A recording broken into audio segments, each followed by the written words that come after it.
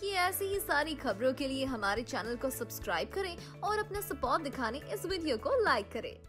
Well well, मैं आपकी host and दोस्त अंकिता थपलिया लीजिए अपने वादे को पूरा करते हुए फिर लेकर आई हूँ आपके लिए बॉलीवुड की चटपटी गॉसिप जी हाँ तो आप भी हो जाइए तैयार बॉलीवुड की चटपटी एंटरटेनिंग गॉसिप को सुनने के लिए क्योंकि आज के एपिसोड में मैं आपको सबसे पहले बताऊँगी।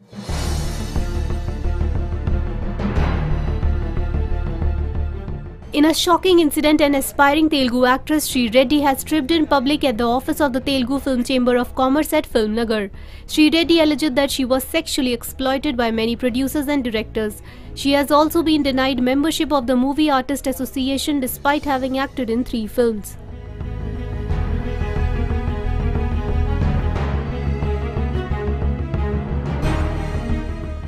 While speaking to a leading daily, she said, they see the videos and give no rules. They have even asked for live nude videos from me. That is the extent to which they go to take advantage of women who seek roles.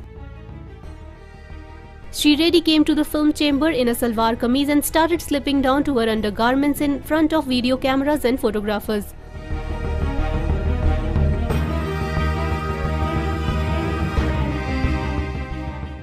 She said, This is the only way I can think of expressing my grief. If I have shown myself new to several people in the film industry and despite that have got no roles, the only way I can protest.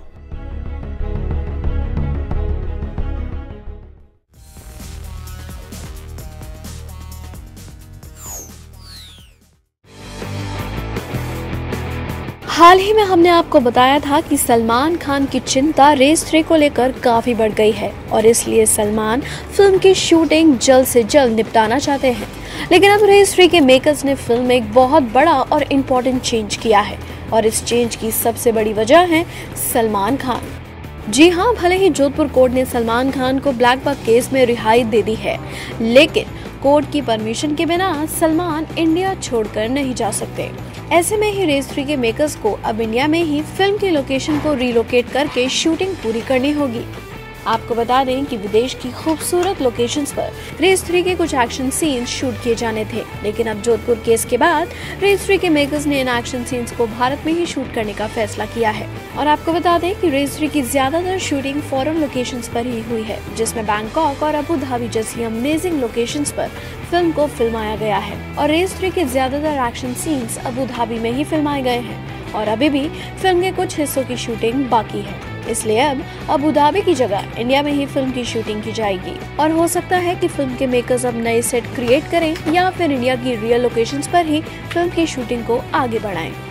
फ़िलहाल सलमान फिर से race three की shooting में जुट गए हैं, और उम्मीद है कि अप्रैल के एंड तक फ़िल्म की शूटिंग कंप्लीट हो जाएगी। वेल रेस थ्री की रिलीज़ 15 जून है, और अब देखना ये है कि इतने कम वक्त में लोकेशन रिक्रिएट करके क्या रेस थ्री के मेकर्स शूटिंग पूरी करने में कामयाब हो पाएँगे।